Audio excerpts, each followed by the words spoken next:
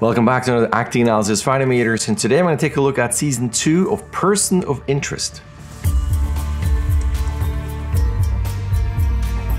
That's right, going way back with Person of Interest. That show is done long time ago. But I went through my list and once again I found something where it's a movie or TV show and it's just one note. But I do want to also pick these up even though they're really short. And this one's actually kind of different. It's not really an acting choice or something where someone looks and eye direction, blinks, stuff like that. It's purely reference for action with a very creative but also kind of mean idea for getting out of a situation using props. Anyway, let's take a look at it. All right, I believe her name is Shaw. It's been a long time since I watched this. She is in a situation where she has to get ready because people are coming to get her. So she gets out, gets ready. And of course, as it is in TV shows, you got this person, instead of taking her out, you got the slow entrance. All right, all right, gives her enough time to react. So what I'm to show you is what she does. So he has a gas mask on.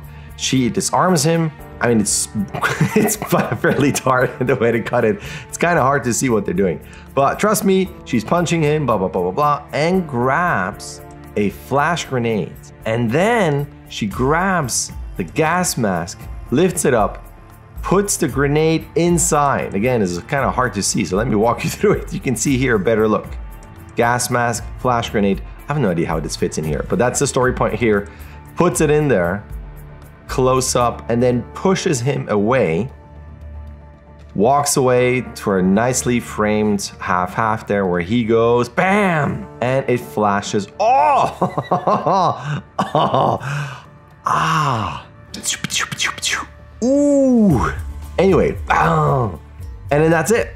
And I think that's the only one that I have that is about, like I noted down action reference. So it's again, it's less about timing and a look or an acting choice or situational awareness and all that stuff that I love to look at. This was purely, this was an interesting way of taking a flash grenade and putting that into the gas mask to dispose of a character. She could have done many other things to this character and she's usually fairly good at this in this show. But this is just one of those things that when you watch a TV show or a movie, just look at how characters handle, props handle another person, maybe another person because of a conflict and what they do with the prop. It's not just sometimes you just have a prop where a lot of shots people have like a cigarette that they kind of flick or there's something here and they're gonna do this. If you already have a prop or a collection of them, what could you do and what could you combine to make something that's new, that's more original, that's more creative? It doesn't have to be as mean as this, but it could be something again where as an audience you watch it, you go, oh, that was pretty clever. Because to me, as you do a shot, you want to showcase multiple things. You want to showcase obviously your acting abilities, but your sense of timing, sense of acting, sense of drama, but also your sense of originality, your sense of creativity. And that doesn't always have to be just with the character standing and acting things out. It could be in combination with how does the character react or act or interact or whatever with a set and a prop or a combination of all of that. And there you go.